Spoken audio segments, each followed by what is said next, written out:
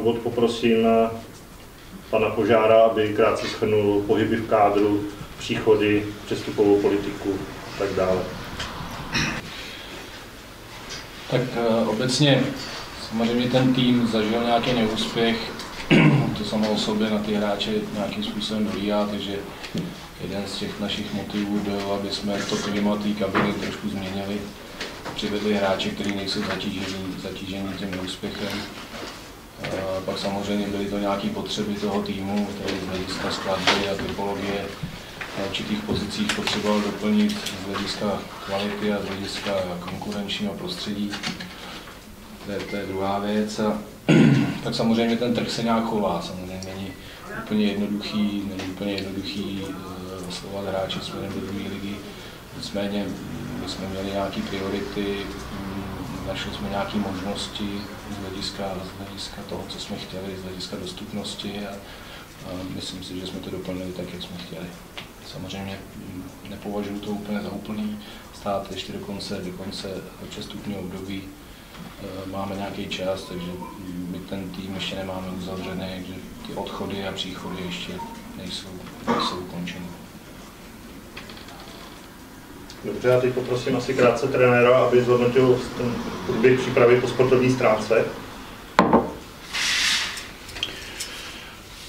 Tak Tomáš to, Tomáš to spomínal, samozrejme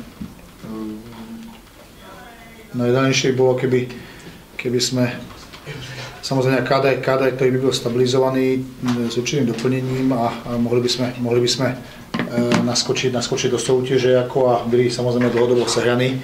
Sehraní, to sme vedeli, že asi, asi nebude, protože určitý, určitý, určitý hráčov, hráčov sme neudržali, e, ale a dokázali sme samozrejme to, že se museli postupně doplňat, doplňat eh, ten káder.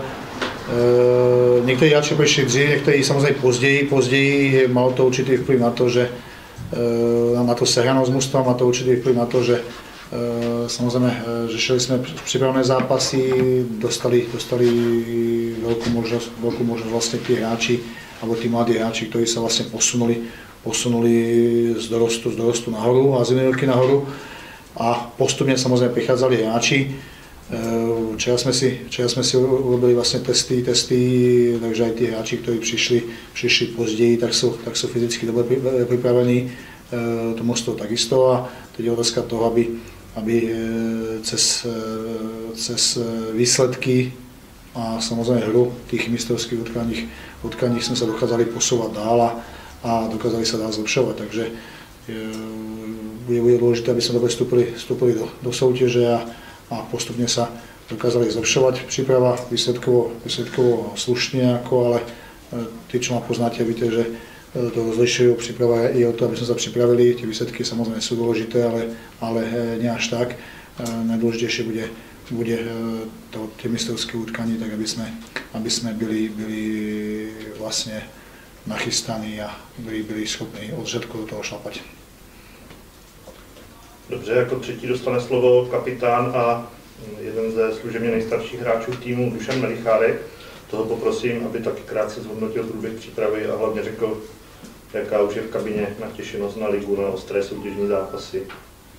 Tak já bych to zhrnul, nebo spíš bych souhlasil tady s trenérem, že prostě příprava je příprava a mistrovské zápasy jsou úplně něco jiného, takže, takže s přípravou, a i když je spokojenost nebo relativní spokojenost z mé strany, tak eh, určitě nejdůležitější bude ta mistrovská část a, a vstup do ní, takže, takže to bude rozhodovat o tom asi, jak ta sezóna se bude celá vyvíjet a, a nálada, a nálada v kabině je taková, že všetci víme, pro co v té kabině teď jsme a, a to je prostě postup.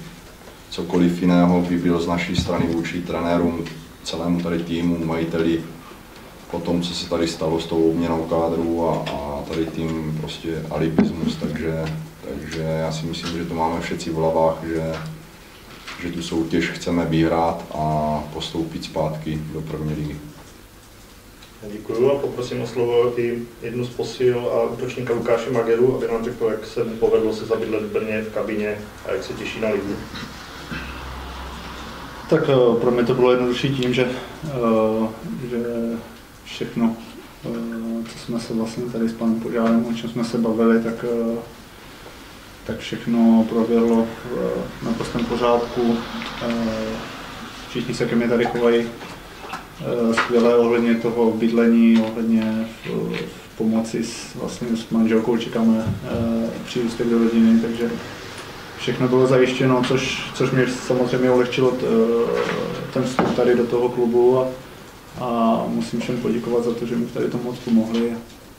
Teď, eh, teď bude na mě vlastně záležet, abych já to vrátil tomu klubu a udělám maximum pro to, aby, aby, abych byl pomocný mladším hráčům, aby, abych eh, na hřiště odváděl ty výkony, co ode mě trenér bude požadovat a co nejlíp pomoct v tom, aby jsme za ten rok eh, byli zpátky v televizi.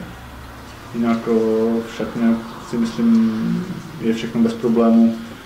Eh, kluci, jak mají, tak i ti kolem, kolem mě a Dušana jsou, jsou v, v pořádku, takže myslím si, že, že ta skladba toho, toho mužstva je v naprostém pořádku a nemůžu říct ani půl na, na nikoho špatně.